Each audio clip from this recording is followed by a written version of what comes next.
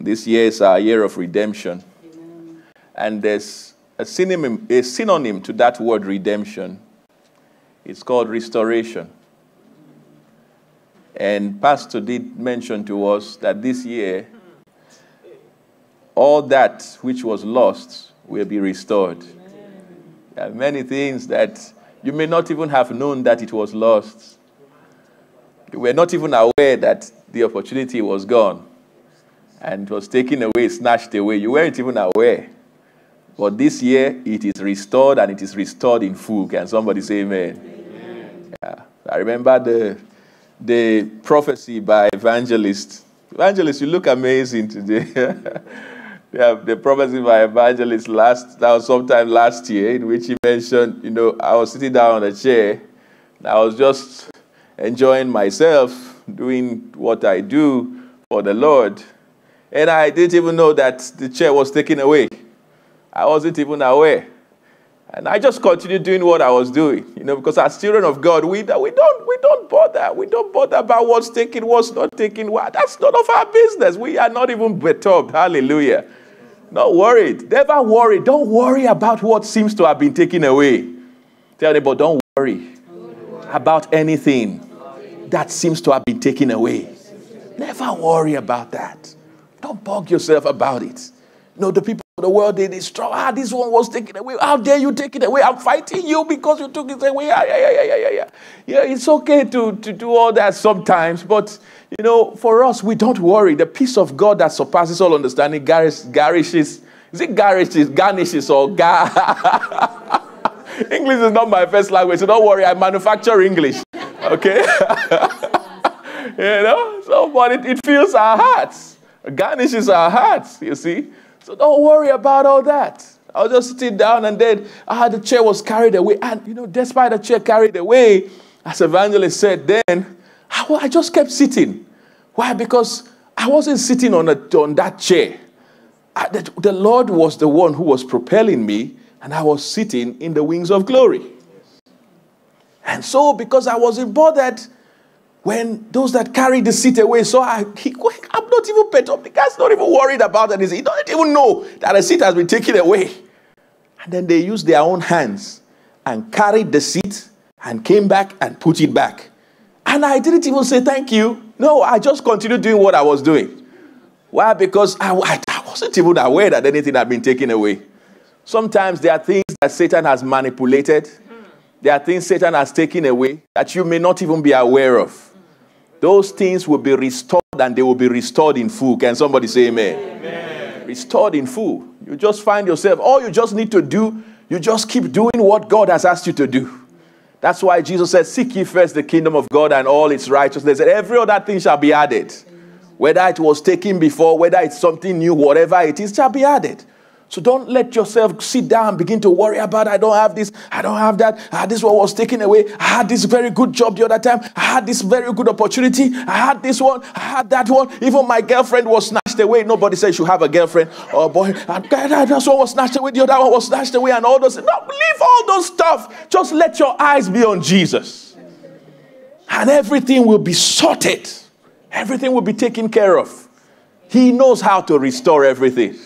He'll restore the years that the locust, the canker worm, the palmer worm, and the worms of wherever, the invasion worms, hallelujah.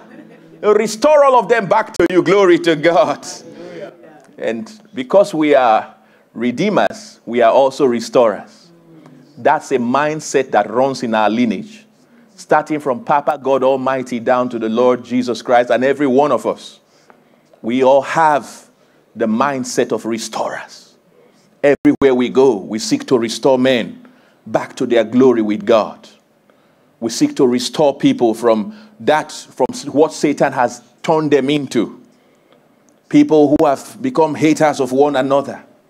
People who have become, uh, you know, you know, so so filled with with distress. We seek to take out the distress from their lives and bring God's glory into their lives. Hallelujah. Anyone that comes in contact with us will light up their world. That's our function as restorers. Hallelujah. And this is what exactly what Jesus did. I'll show you two areas in the scripture in a moment. I don't want to take you to the history of restoration. But you find all through the Old Testament, those people that are in our lineage, they were restorers. And you find there's a lot of scriptural evidence about many things that they restored. But then when you come to Jesus, you find Jesus also restoring, carrying out acts of restoration, acts of redemption, of course, before the ultimate where he went to the cross. Let's go to Luke chapter 19. We'll take you from verse 1 into verse 10.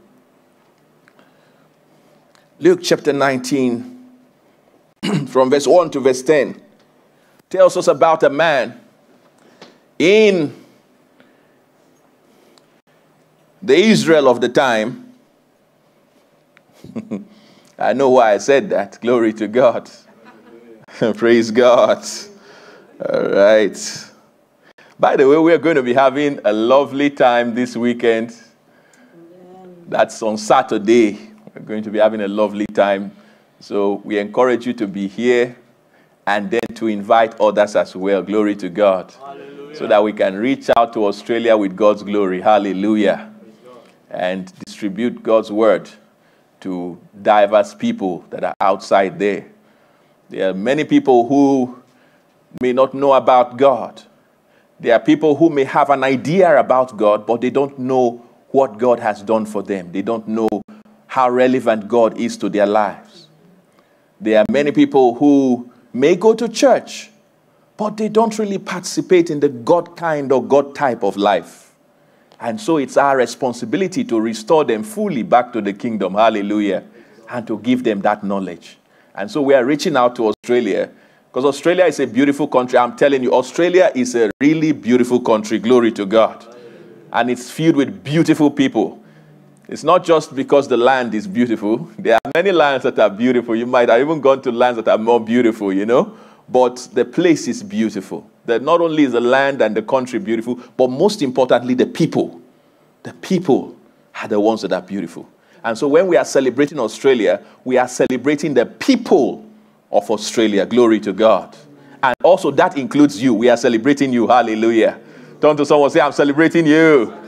Yeah, that's what, that's what we celebrate everywhere we go. It's about the beauty of the people. You know, this is a country where uh, several times my wallet just, you know, I, not, I'm not saying I'm careless, all right? I'm very careful.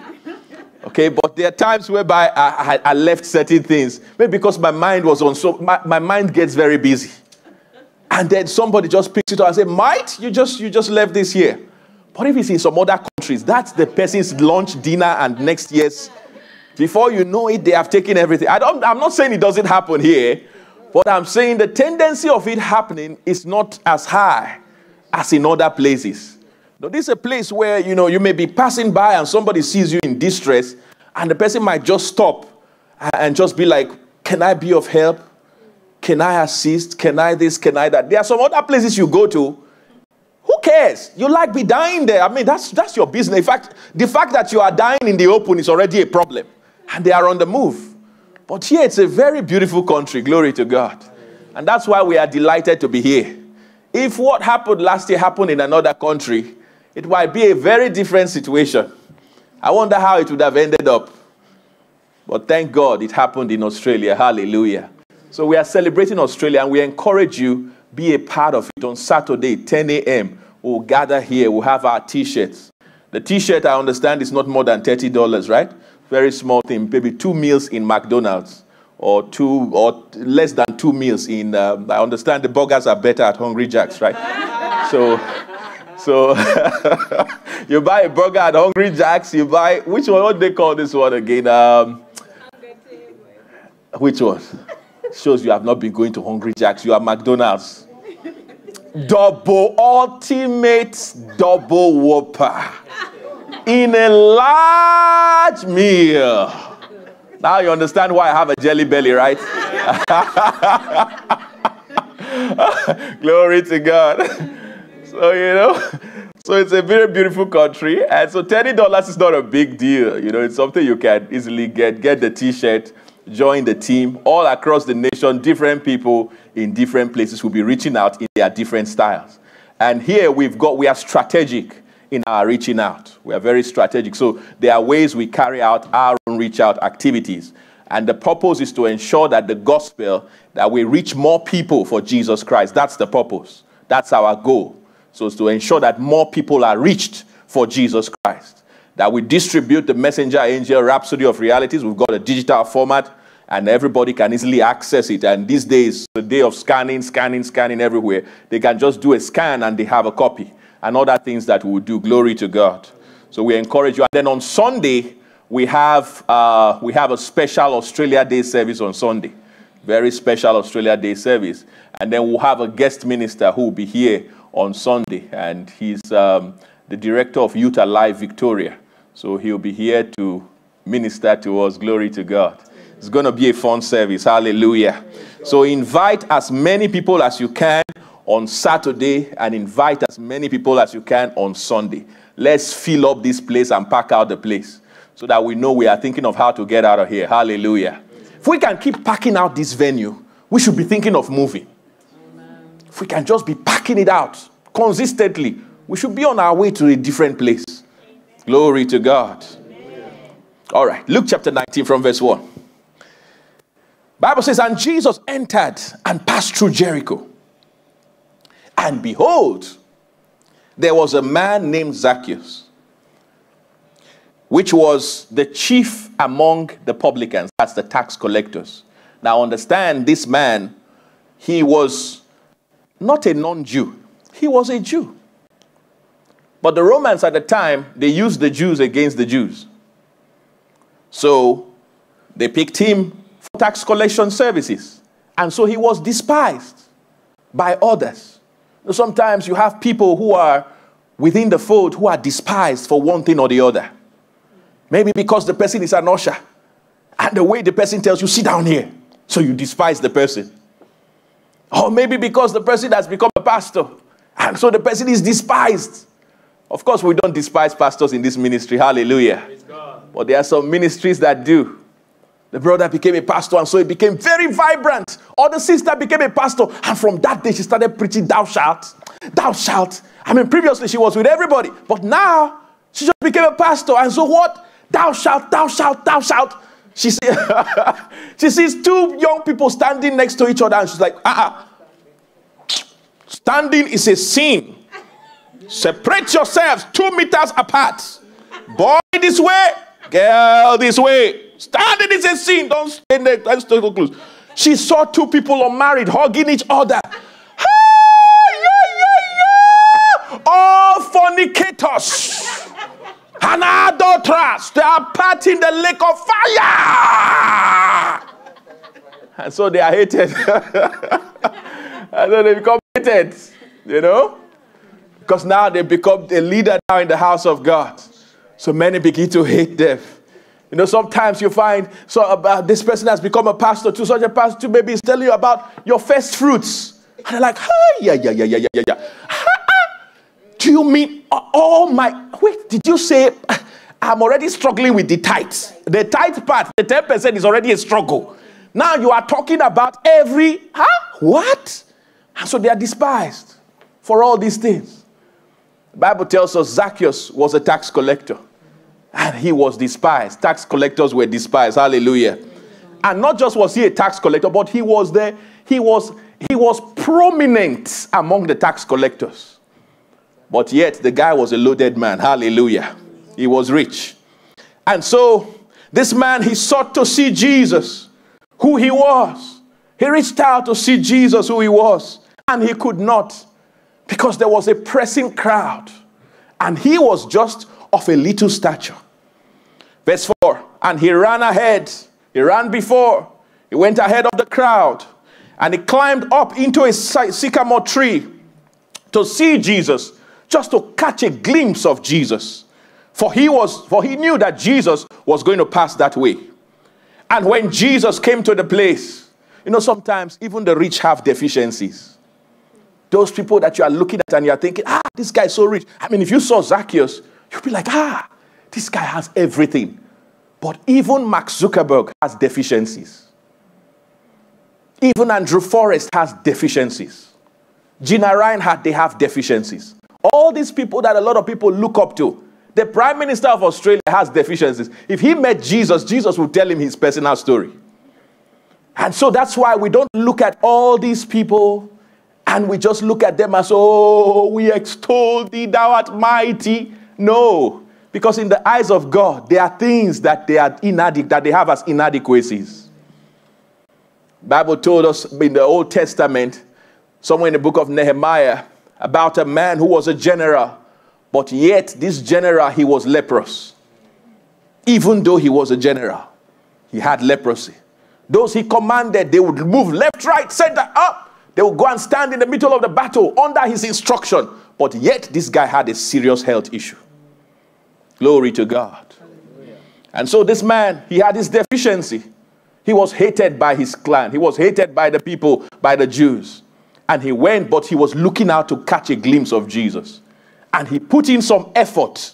He put in some, here's the point no matter where you find yourself in life, be ready to put in some effort for God. Be ready to put in some effort to reach out for to God. This guy had so much deficiencies, but yet he reached out. He looked for an opportunity to just, oh, if I can, if I can catch a glimpse, if I can see this one, what I what can I do? Where can I play my own part? Oftentimes it's so important, no matter where you find yourself in life, Look out for where you can play your own part towards God. Can somebody say amen? amen? Look out for your own part. People may despise you. There may be a press. There may be a surge that may, that may look as though you don't have the opportunity to get to God. There may be many things that may seem as though there are obstructions on your way. But don't worry about the obstruction. You just do your own part. Hallelujah. God. Do your own part. Someone may even, maybe someone's words towards you may even become an obstruction. A family member may have some things to tell you about how, how unimpressive you are. That may be an obstruction. But don't worry about the obstruction. Just play your own little part. And Zacchaeus played his part. He went and climbed up a tree just to see Jesus. Look at what followed next.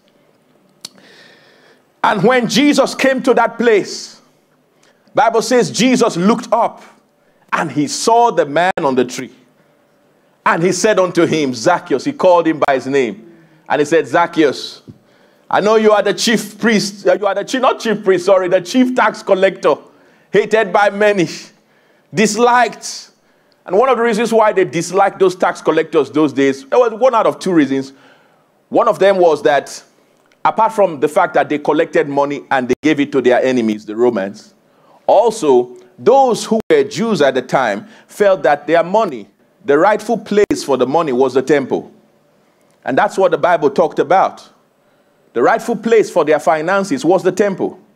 And now they were being forced, and here was a Jew in the act of forcing them to relinquish their finances to their enemies, the Romans, who were dealing with them at the time. And so there was every reason for them to hate the person who was in this particular situation this person who was carrying out this role. There was every reason to hate this person. Why? Because the person was violating two things. One, the person was helping to make them poorer. And two, the person was collecting finances and giving to their enemies and robbing God in the process. No wonder they came to Jesus and said to Jesus, ah, Who shall we pay taxes to? The Romans or to God? They gave him that test. Why? Because the accurate thing was your finances should go to God and not to the government. And then Jesus was wise and he told them, he brought out the coin and he said to them, Whose face do you see on the coin? And they said, It's the face of Caesar. Why? Because there were soldiers also around waiting. So if Jesus said, Oh, ah, give the money to God, then they would have said, Yeah, that's it. He said it, he's on our side. Yeah. And then the soldiers have arrested him immediately. Now you are inciting the public against Caesar. And then if he said, Oh, give the money to Caesar without any good reason backing it, then they would have said, Okay, so you are not on our side. You are on Zacchaeus' side. Glory to God. And so that was the trap. But Jesus, now in all wisdom, because he's the embodiment of wisdom, he looked at the coin and says, and said, Whose photograph do you see on the coin? And they said, This photograph, it's Caesar's photograph. And he said, Give to Caesar what belongs to Caesar, and give to God what belongs to God. In other words, he left the decision to them for them to make what decision they wanted to do concerning the coin that carried Caesar's face. Hallelujah. God will give you wisdom to answer difficult questions. Wisdom. And so Jesus looked up to this man and he saw this man and he said to him, Zacchaeus, make haste, be quick, come down. For today, you that is hated by many, I'm going to your house and I'm going to stay at your place. And the man looked down, he made haste, he came down, and he received Jesus joyfully. Why? Because Jesus cared for him. Those people who are rejected by society, those people who are hated by society, reach out to these people today. Glory to God. Reach out to them. Reach out to them. Joyfully, he received Jesus. And when they saw it, you would have expected people to be happy Jesus was received. No, the Bible says they murmured, saying that he was gone to be guest with a man that is a sinner. How can you go to a sinner's house? How can you go and stay in a sinner's house? We respect you so much. We have high regards for you. And then it's not, you didn't say you are looking for Peter's house. You didn't say you are looking for Caiaphas' house. You didn't say you are looking for a clean place to you can even the synagogue. Now you are going to the house of a tax collector to go and stay in such a person's house. But look at what Jesus said. And Zacchaeus stood and said unto the Lord, Behold, Lord. Now, because Jesus had stooped down and Jesus had received this man, this man said unto the Lord, He said, Behold, the half of my goods, what I own, half of it, I'm going to give it to the poor. Jesus never asked him to give to the poor. The man Jesus asked and said, Give everything to the poor. He, he, the Bible says he went away sorrowfully. But now this man voluntarily. Why? Because someone had reached out to him, someone had showed him some love. He was ready to give half of everything. Glory to God. When you reach out to people, when you show them love, when you reach out to restore their relationship with Christ, and to ensure that God's glory reigns in their life, there is nothing that they will not be able to give. They will be ready to give. Glory to God. There was a church that was here many years back. Then they closed down before we came. The pastor of that church, he got someone passed on, a lady passed on. And she was just, they into, they to a large church. She was a lady that just passed on, and she willed all her assets to the church. And the money was fantastic amount of money. That's what the pastor used in buying a building within this complex and took over that building. Glory to God. He did that. Why? Because the pastor had reached out and the brethren had reached out to somebody. This lady was someone who was, well, not seen by anybody. Oftentimes, you know, you don't know what impact you make in the life of someone. You might just look at that person as though the person is so small and doesn't matter. But yet, this person is amazing. The works that this person can do for Christ is exceptional. Brothers and sisters, reach out. Glory to God. Tell your neighbor, reach out. reach out. You don't know who God can use to bless, the, bless his house. You don't know who God can use to uplift someone onto glory. Imagine if, if someone gave property in this place that was equivalent to 1.5 million. I'm telling you, some of you here, you don't need to go to school and worry again. I, I mean, you need to go to school, but your fees, you don't need to worry about fees. Why? Because it's all paid. All paid. So $30,000 that you are struggling for, the church just takes care of it for 10 people. How that wouldn't that be so nice? And then I buy some new cars. Hallelujah. No, no, no, no, no, no, no. I'm serious now. I'm serious. Don't you think I need a new car? Brothers and sisters, I know. Ask your ask your neighbor. Don't, don't, don't pastor need a new car. I need a Tesla. Now is it a crime for me to drive a Tesla? Ah, ah. oh, hallelujah. Praise the Lord. You know, I don't care about worldly things, all right? but you know, you reach out to someone. You don't know what that person may be going through. You reach out to someone. This one was hated, but yet Jesus passing by, he reached out. And the man said, Half of my property, the Bible records he was rich, and half of his property, he said, I will give it to the poor. He was ready to let it go. And then he said, If I have taken anything, Because oftentimes the tax collectors of the time they were known as thieves as well. So if I have taken anything that any man from any man by false accusation, I will restore it back to the person fourfold. Total transformation of heart. And Jesus said unto him, This day is salvation come to this house. This day salvation has come to you. Hallelujah. And he said, For as much as he also is a son of Abraham, he also is a son of Abraham. And then he said something remarkable in verse 10. And this note it very well. Because the Bible says, as he is, so are we in this world. He said, For the Son of Man is come to seek and to save that which was lost. Whatever was lost, the Son of Man is come. Number one, to seek, to look out for them where they might be, and to bring them to salvation. And that's what we are doing during this reach out. We are looking out for those. We look out for them. We reach out for them. And our goal is to bring them to salvation. Hallelujah. That which was lost. It includes those Christians who are seen as Christians in the woods. I first heard that term here in Australia that there are some Christians in the woods. Those who were once vibrant Christians. I mean, they loved Jesus so much. They loved Jesus so much. But then something happened. Maybe they had a nasty experience in a church somewhere. Maybe Satan managed to encircle them and gave them so much accusations about all their fellow Christians. And then they left. And now they are sitting down at home and saying, well, all those Christianity stuff. I met one guy one time. He was, he was selling suits in uh, Mitcham, Mitcham, close to Nunawading. And then I met this guy and I was telling him about Jesus. So I went to the place, I, was, I wanted to buy a suit and his shop was really good for suits at the time. This was pr- probably like 10 years ago, thereabout. And I went to see this man. He had advanced in age. Very nice gentleman. And then um, when I got there, I decided this very day I was going to talk to him about Jesus. And Pastor Esther was there, and I started the conversation. I talked, and he was listening so intently. He was listening so intently while I was talking. He was listening, listening, listening. After listening very intently to what I said, then I stopped and I told him, You see, that's why it's important for you to receive salvation. And that's why it's important for you to be part of a vibrant church.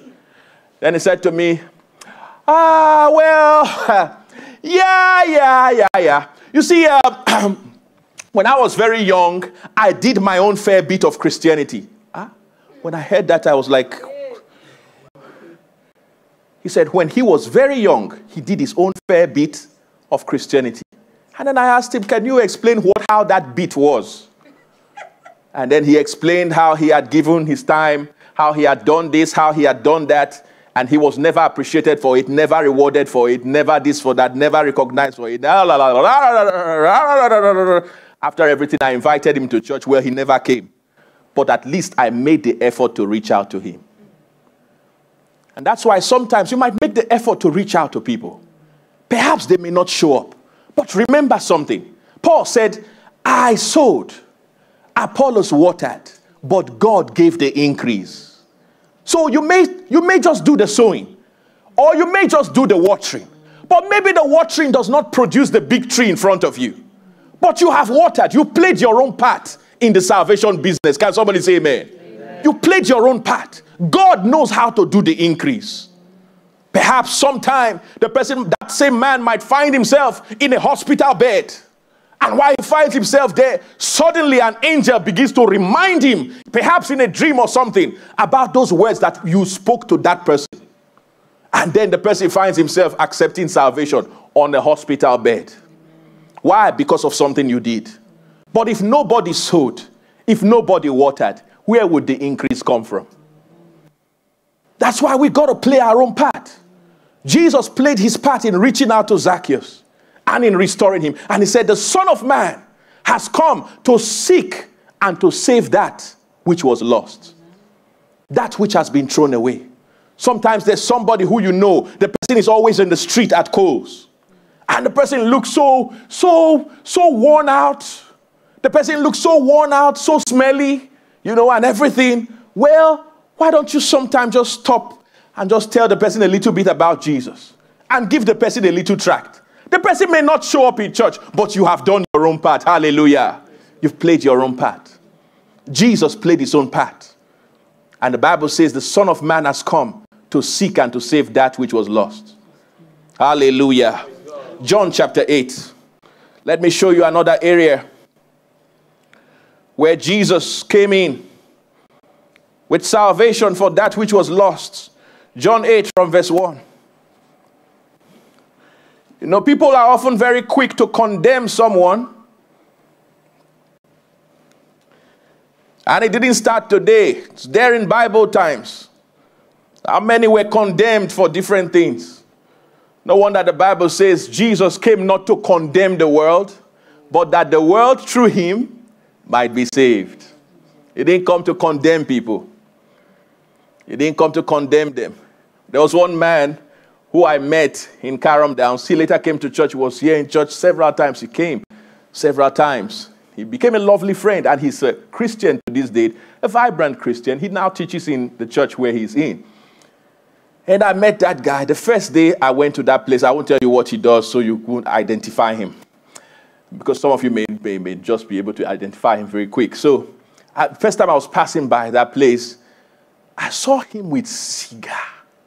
The guy was blowing cigarette like you can't imagine. I never knew this guy even has God's word inside him. The guy was scattering his cigarette by the side. And you know, back in, in those countries where we come from, if you are smoking, all smokers go to hell. You understand what I mean?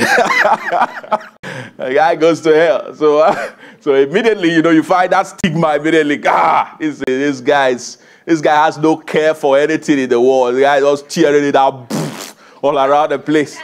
And then uh, I walked into his shop or something I was going there to do. And then I had, after I had done what I needed to do, he didn't know I had seen him. Now, that was very important, you know, because when you observe, sometimes, you know, when you, you were in the house of God, and we got many people, uh, when, you're, when you observe, maybe you, you're passing by a place and you see a brother or sister doing something that you know, don't go and say, brother, sister, I'm seeing you.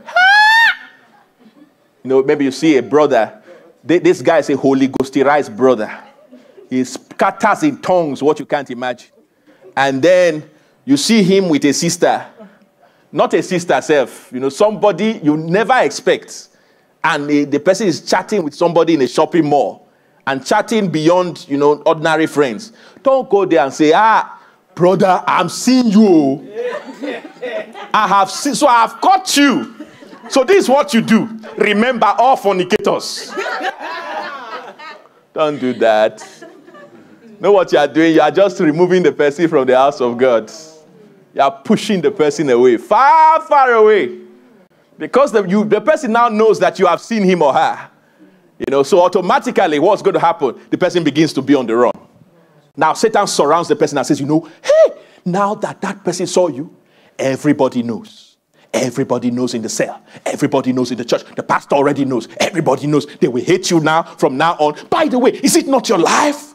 Why don't you just live your life? You have a right to live your life. You have a right to make decisions by yourself. You have a right to this. You have a right to that. It's your life. And that's it. The person doesn't come back to church anymore. The person doesn't come back. Now, it so happens that maybe the pastor has never called the person. And then after you have, you know, Satan knows how to arrange things. after you have seen, three hours later, maybe I was just praying and speaking in other tongues, capacity in other tongues. And then the Lord says, reach out to so so person. And Satan stands by the person. And as soon as the call comes in, I wanted to bless the person's life with a few words of blessings while I was praying for the person. But Satan stands by and he tells the person, hey! Don't pick that call. It is because brother so so so saw you. That is the reason why this call is coming. And before you know it, the person is ostracized. So when you find people in that sort of form, what you do, pray for them. Intercede for them. Intercede for them. Don't allow Satan to use you as an accuser of the brethren. Let God use you as a restorer of the brethren. You find somebody says, I, have, I left church. I, have, I left church. I, I, don't, I don't come to church anymore. Don't sit down and just begin to listen to stories and tales. Tell the person, no matter what happened, you are coming back to the glory of God. You are coming back to the grace of God. There's no living church. You don't leave church because the church is Jesus Christ. So you come back to the house of God. Your goal is to restore the person, not to join the accusers, not to listen to tales from the devil about accusations. Hallelujah. Tell them about never listen to bad tales. I'll listen to the word of God. That's Jesus. That's how Jesus functioned. That's how Jesus functioned. The Bible tell, tells us in that Luke chapter 19 that we read that people who were around Jesus, they were not happy that Jesus was going to have a party with, with, uh, with Zacchaeus. They weren't happy about it. But Jesus was not ready to listen to those tales. Now here's another situation. Bible says Jesus went into the Mount of Olives. And early in the morning, he came again into the temple, and all the people came unto him, and he sat down and taught them. And the scribes and Pharisees brought unto him a woman. The other one was a man. This one is a woman now. Brought unto him a woman taken in adultery. That means she had been captured in the midst of adultery. And when they set her in the midst, so already the circumstantial evidence shows guilty. Caught in the middle of the act. And then they set her in the midst. Now, when the Bible says they set her in the midst, that means they put her in the middle, which means all her accusers gathered around her. There was a mob that was on this woman while she was there.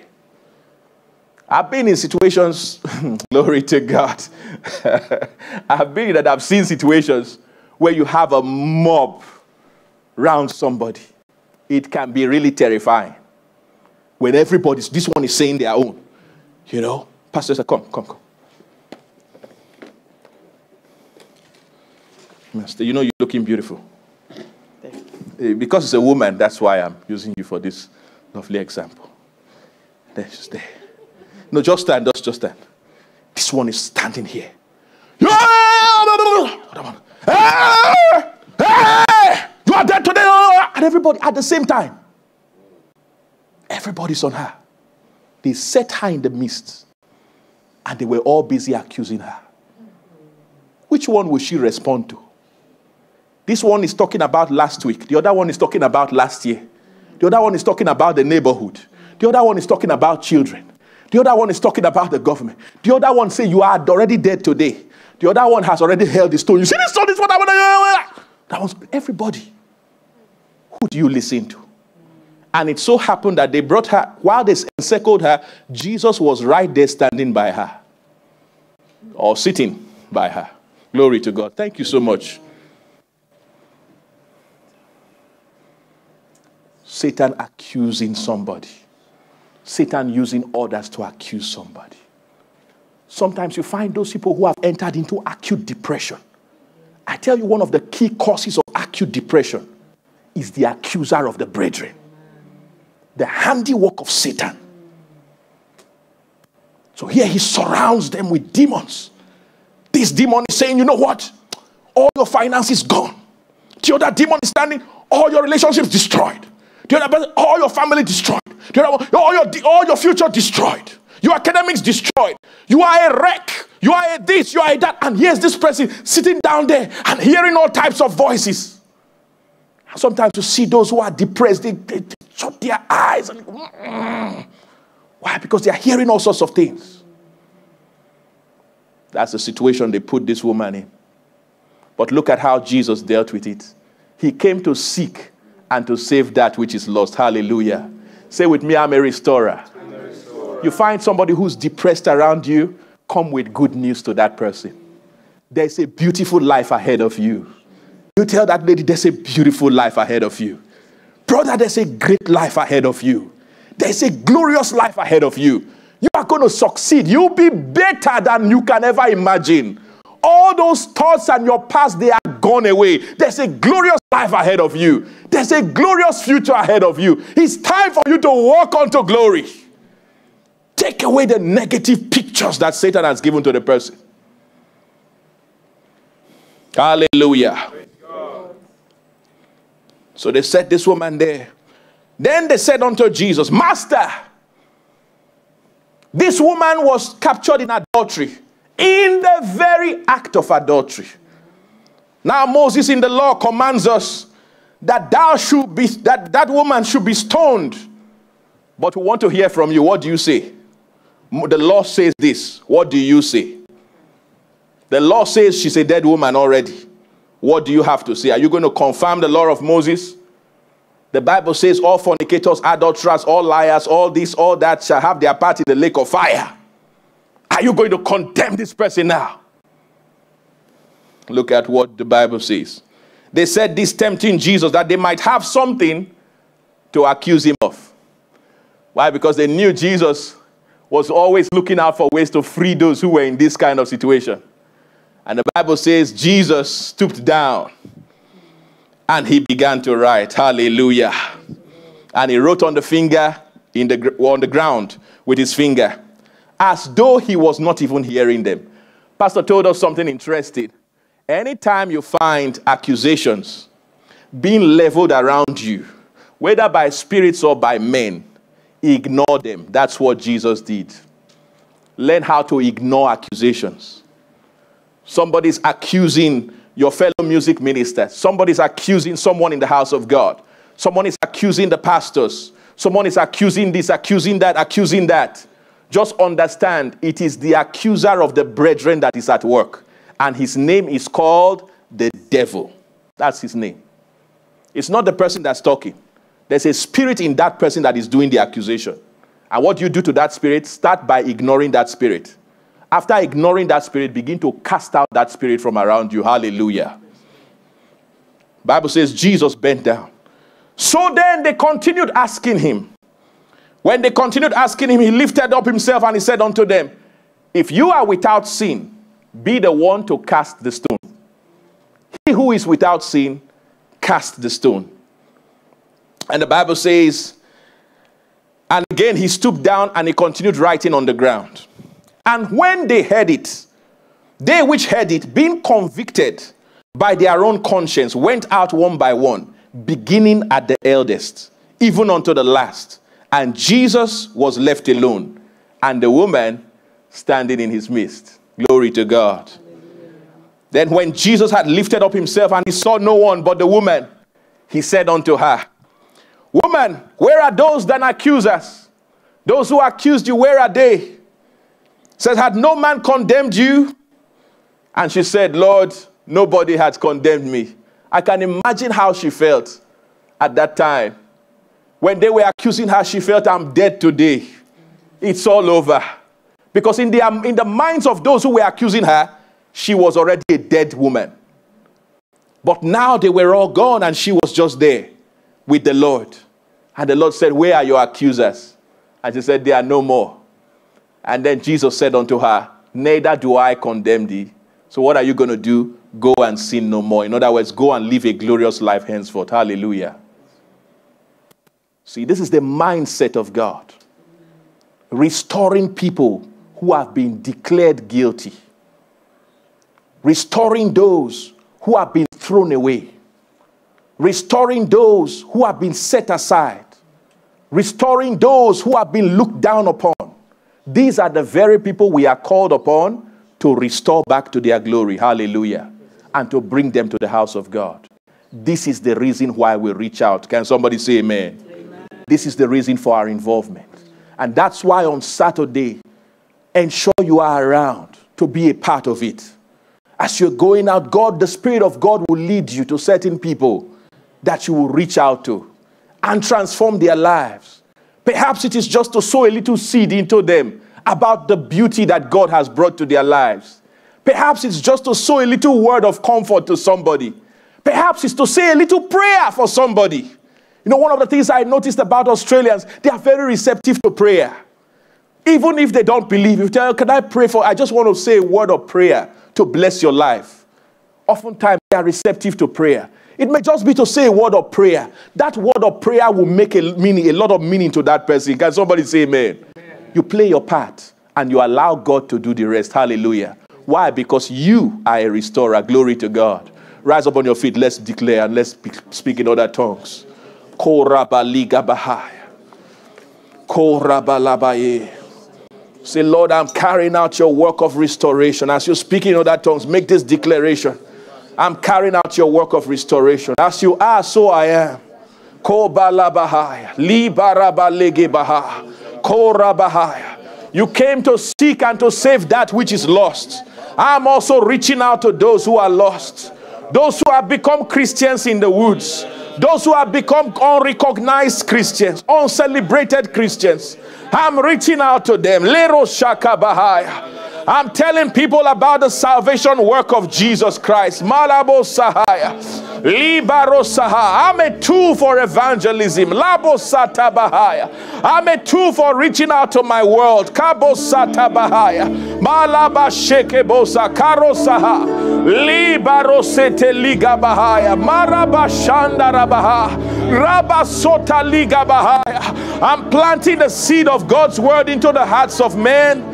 I'm watering the seeds of God's word in the hearts of men. Kabo Sapaya. Libo Satarabaha. Kero Shekebosaha. Liga Bae. Rabba Shanda Labaha. Rabba Sote Ligebosaha. Rabba Yebo Shekebosa.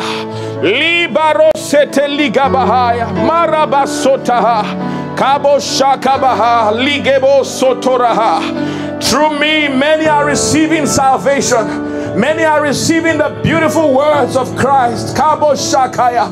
Light is being brought into a dark world. I'm a conduit pipe for God's love. Kabo Shatabaha.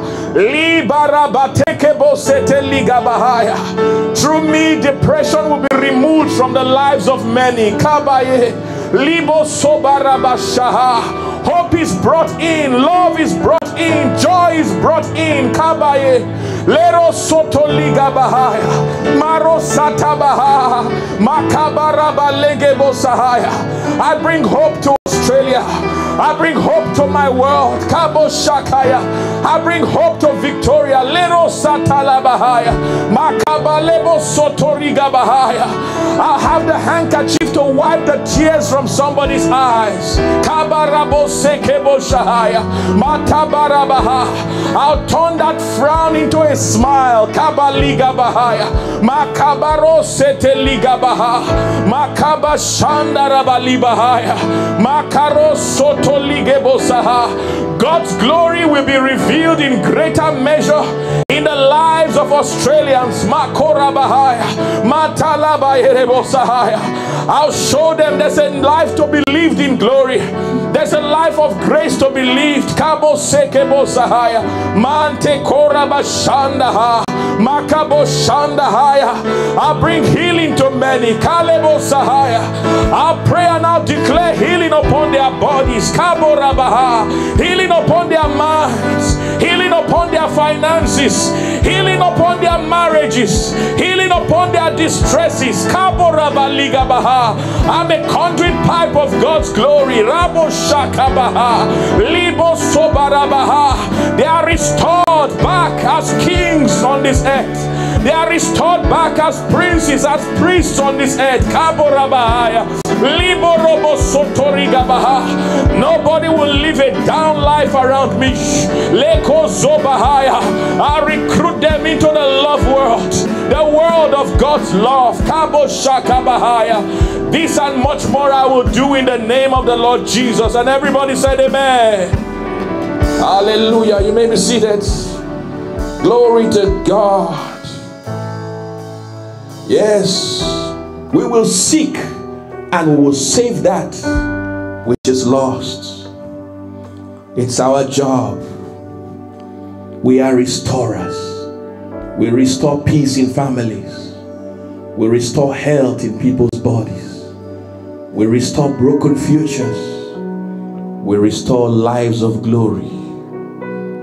And if you're here today, you haven't yet given your heart to Jesus Christ you haven't yet declared Jesus as Lord of your life, or you are connected online, or you're in any of our fellowships or our churches, and you'd like to give your heart to Jesus Christ, this is very important. Jesus said you must be born again. A glorious birth, a spiritual birth, a brand new you. You'd like to do that today, here's what you're going to do shut your eyes and shut everybody out. It's you and the Lord right now. Put your hand on your chest where you are and repeat these words after me. Say, Oh Lord God, I believe in Jesus Christ, the Son of God. I believe Jesus died on the cross to save my soul. I believe Jesus rose up from the dead and he's alive today. I declare that Jesus Christ is Lord of my life from this day. And I receive by faith eternal life into my heart. I have eternal life now. I am born again. I am a child of God. I am a citizen of the kingdom of heaven. Thank you, Lord, for saving me. Thank you, Lord, for transforming me. And from this day, I live a life of glory, glorifying your holy name. Amen. Hallelujah. If you've said that prayer today, Congratulations, you are born again. Glory to God. Can somebody shout glory? You are born again. That's all it takes to be born again. That's the Bible way of receiving salvation, declaring the Lordship of Jesus on your life. And if you're here in this hall, you just said that prayer, ensure you reach Pastor Esther after the service. But if you are online, use the details on the screen to reach out to us would like to hear your salvation story and would love to ensure you are planted in a Bible believing church. And we have a lovely book that we want to make available to you. It's called Now That You Are Born Again. It's a special book that will start you out strong in this new life that you have in Christ. So ensure you reach out to us. We'd love to hear from you.